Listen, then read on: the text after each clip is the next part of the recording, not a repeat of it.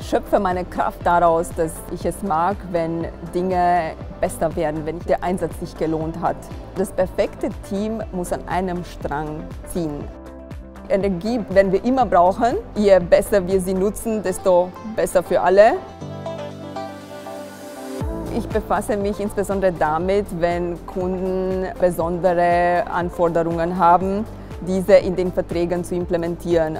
Das Verantwortungsvolle besteht darin, dass die Datenqualität stimmen muss, damit man die äh, Verträge gut abbilden kann.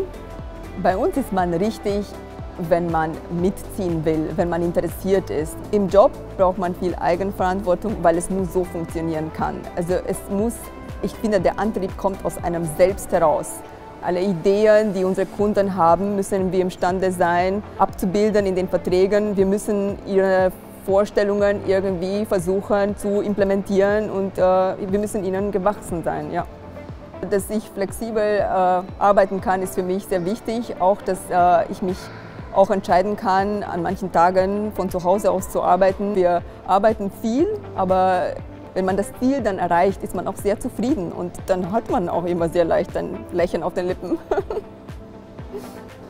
Ich heiße Alexandra Verkascio und ich arbeite seit knapp 14 Jahren bei der Energieallianz Austria.